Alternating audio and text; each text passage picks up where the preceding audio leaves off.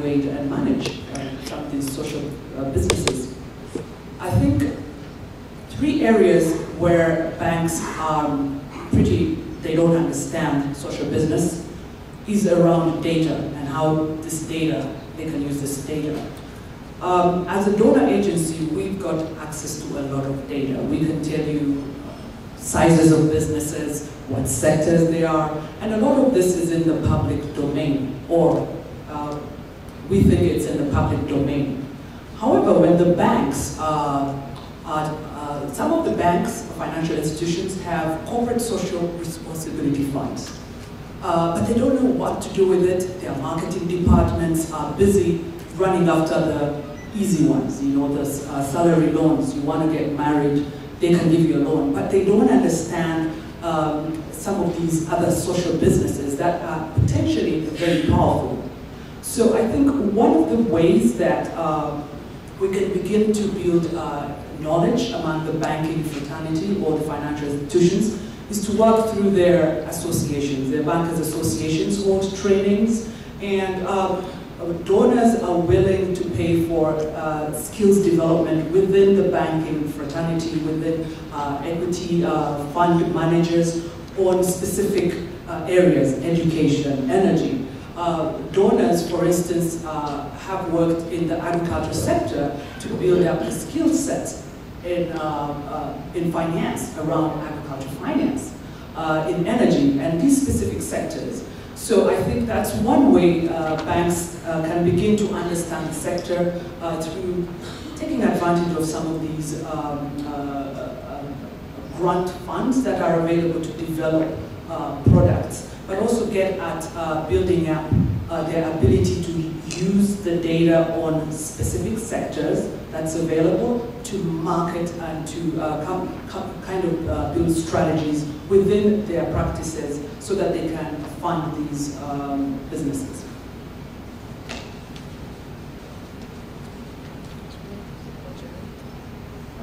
Yeah, uh, in terms of uh, quantifying impact, uh, this is based on what uh, their investors uh, want to achieve. Uh, is it the smallholder interface or outreach, like it is in the case of the funds we manage? Is it health benefit? Is it energy?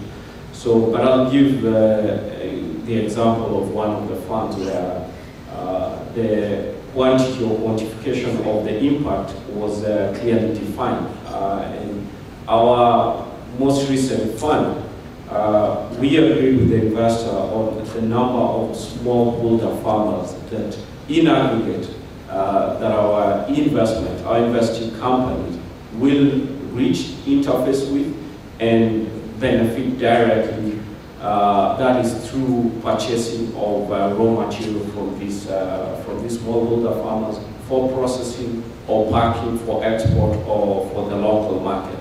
Then we also quantify the value uh, of that purchase. And we also quantify the income per farmer. Uh, and we track that uh, in a period of uh, five years. So what is the additional income per farmer within five years? And we have very clear targets for that.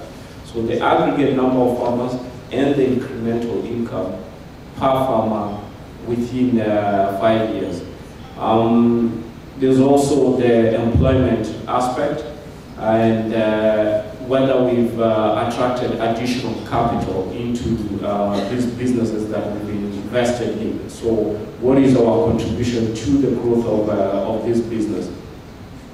Uh, one of our, the other fund, uh, the Africa Seed Investment Fund, uh, which invests in seed companies, it's a very specialized fund.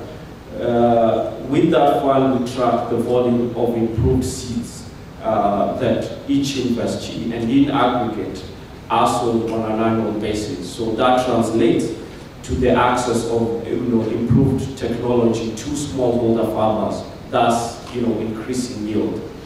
But you know, for a fund manager, you know, fully quantifying impact is, is very challenging and difficult, and unless you're uh, well resourced. Um, uh, Erastus here, who's our impact uh, committee chair, uh, is, is always giving us a hard time because impact to him is, is really scientific.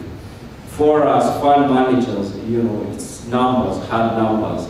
Uh, but what, at the end of the day, what an investor wants to see is a complete story. Like, what is the transformational story of, you know, as a result of the investment? And most fund managers are not in a position to deliver that. So over and above delivering the annual numbers, which we can extrapolate from uh, the audited accounts or financials of uh, the business, uh, we prefer working with third parties to package the story. Uh, say, for example, we set up a dairy processing factory in the rural community. Uh, beyond the volumes of milk, you know, what is the transformational effect of that dairy within that community and beyond. Yeah. Yeah, um, yeah thanks. I, I think I just would like to add that, of course, if you do decide that you want to go down the route of impact indicators, or, you know, impact investment, I think you're really going to have to invest in proper M&E.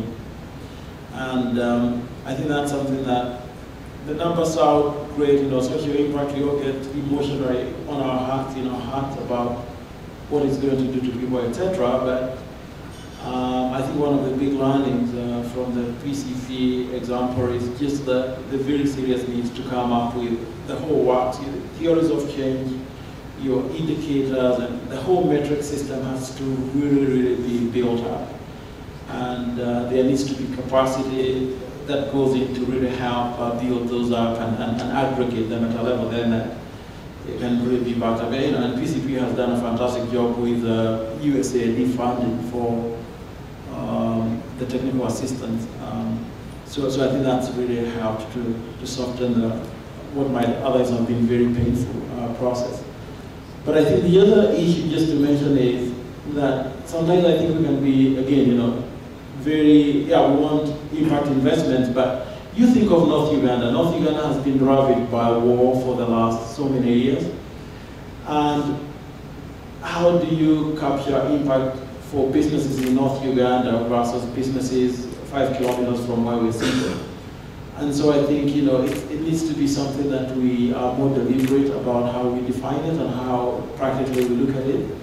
I think one of the things we found out is that even having a business that could become a model, you know, that others could look at, in a way is social impact, you know, but how do you measure that? How do you report that? How do you back up that? So it's just to say that it's not, it's, it's, it's not a very clear, you know, there's a lot of detail that you really need to dig out and dig up here. Thanks. Hi, and just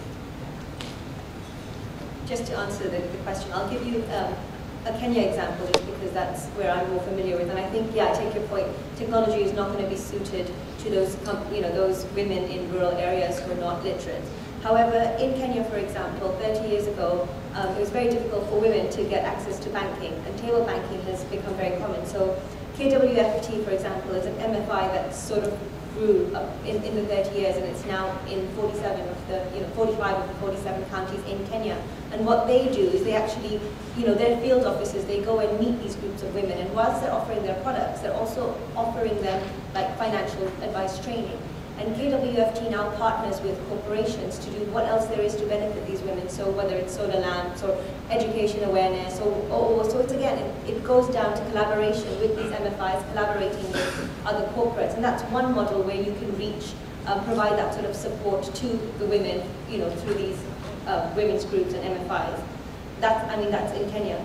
Another example in Kenya is working with NGOs. So a lot of a lot of NGOs work with um, many rural areas with many women and again provide, uh, not only do they provide education and training but also business help. So I, I don't know if you've heard of the Lead model which is the village level entrepreneur where one, it's like the Avon model for example where one woman will go around door to door selling a basket of, selling a basket of goods Now, that, that, what that means is that business, that women's business becomes self- self-sustaining with support from the NGO who provides things like, you know, financial training, credit, also partners with MFIs. So I think it goes to the theme of this symposium, which is collaboration between different part, partners can reach those areas as well where technology, you know, where, where technology can't reach. And I think in Kenya at least, it, it is happening and, um, you know, I, you know, I, I would hope that it, it is happening here in East Africa or also has the potential to happen.